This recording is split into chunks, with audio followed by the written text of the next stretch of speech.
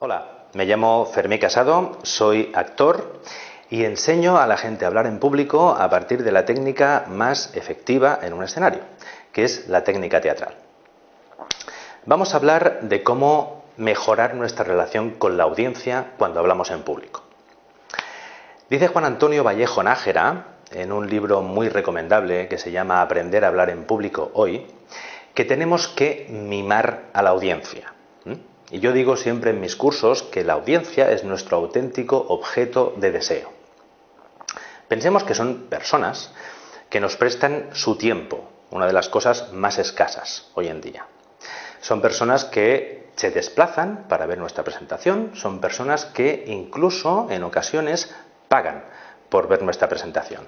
De manera, que se merecen todo nuestro respeto, todo nuestro cariño, todo nuestro mimo. Dicho esto, vamos a ver algunos consejos para relacionarnos mucho mejor con ellos. El primer consejo que os quiero dar es que no debemos temer a la audiencia, pero sí respetarla. El miedo es algo no deseable en ningún aspecto de nuestra vida, pero respetar a la audiencia es una de las mejores cosas que podemos hacer. Respetarla pasa por respetar lo que nos prestan, que es su tiempo. Por tanto, debemos intentar hacer una presentación que sea lo mejor posible. Preparar bien nuestra presentación, dominar los contenidos, hacer una presentación atractiva, interesante, amena, es el mejor favor que podemos hacer a la audiencia y la mejor manera de respetarla. Otra cosa que debemos tener en cuenta para mejorar nuestra relación con la audiencia es la función que desempeñamos aquel día en aquel sitio. El día de nuestra presentación, en el sitio de nuestra presentación, desempeñamos una función, que es hacer llegar nuestro mensaje.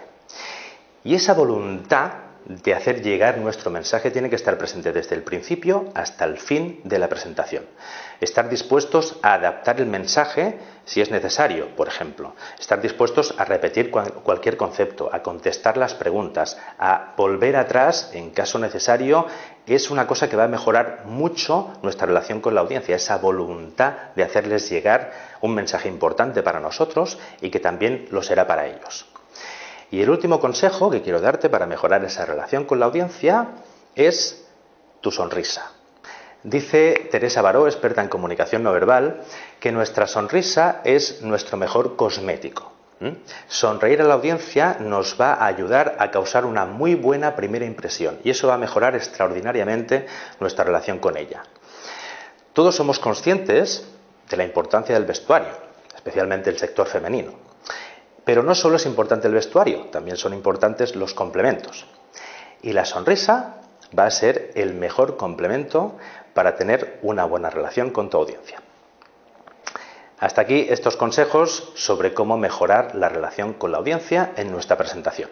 No quiero perder la oportunidad de recordarte la dirección de mi blog, teatricom.wordpress.com.